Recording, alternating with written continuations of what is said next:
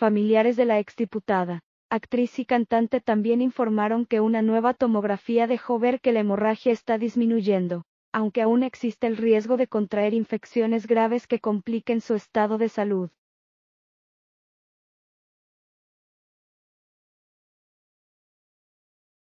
Carmen Salinas cumplió 12 días desde que sufrió un derrame cerebral que la dejó en coma y con respiración asistida el pasado 11 de noviembre, por lo que fue internada en un hospital de la colonia Roma, Ciudad de México, y reportada en estado de coma natural desde entonces.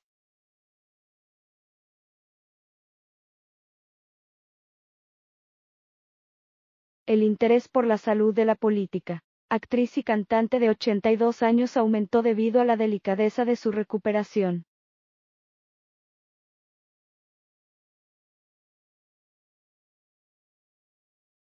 Por ello, su familia otorga actualizaciones de sus procedimientos a las afueras del nosocomio donde se encuentra.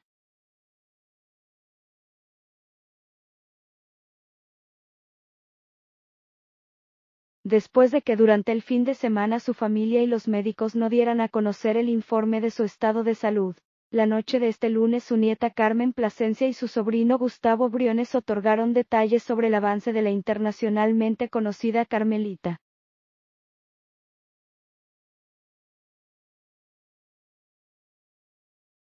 En un encuentro con los medios de comunicación, Plasencia aseguró que en los próximos días Carmen Salinas será sometida a dos procedimientos quirúrgicos para que la limpieza de flemas, así como su alimentación, sean más fáciles de realizar.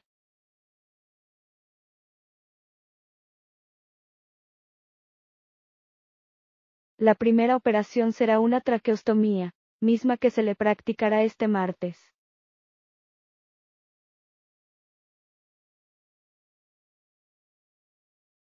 Asimismo, el próximo jueves, después de un descanso, los médicos plantean realizar una gastrostomía.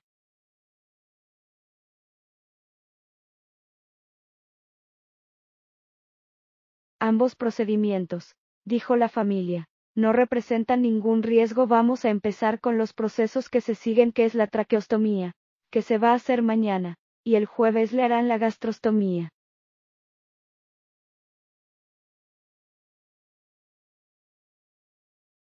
Entonces no es grave, son los pasos a seguir. Punto. La intubación lastima las cuerdas vocales y los labios.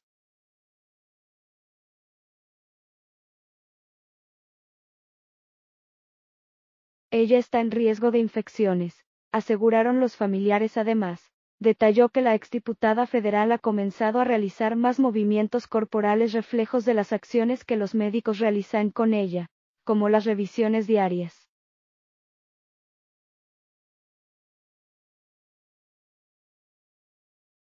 También mencionaron que una nueva tomografía dejó ver que la hemorragia está disminuyendo, cosa que catalogaron como algo positivo.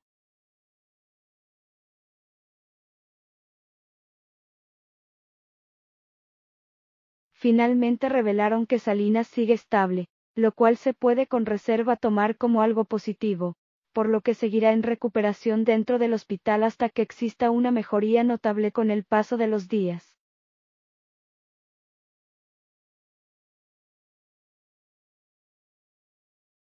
Carmen Salinas no volverá a trabajar el pasado 19 de noviembre. Los doctores de Carmelita Salinas dieron a conocer un nuevo diagnóstico sobre la actriz y determinaron que si llegara a despertar no regresará a trabajar en corto plazo.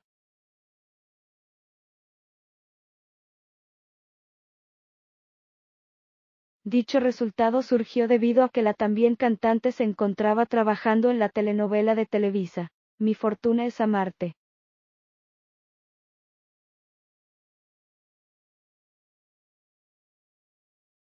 Tras despertar del coma, la mexicana tendrá que concentrarse en su rehabilitación y deberá dejar de lado su carrera artística, al menos por un tiempo.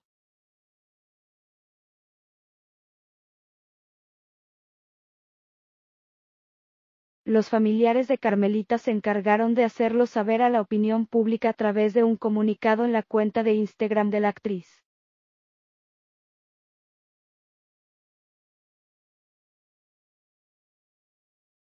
Al público en general y medios de comunicación, A través de este medio, informamos que por instrucciones de los médicos, la señora Carmen Salinas, en el caso de que recuperara el conocimiento tendría que hacer una rehabilitación que no le permitiría tener una actividad laboral a corto plazo.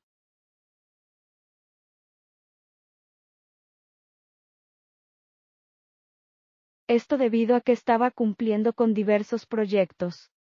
Seguimos orando por su pronta recuperación y agradecemos todas las muestras de cariño hacia nuestra familia.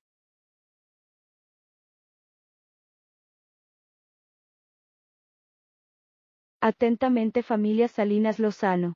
Se puede leer debido a esto. Televisa ya hizo saber su decisión de lo que pasará con el personaje de Carmen Salinas en Mi Fortuna es Amarte.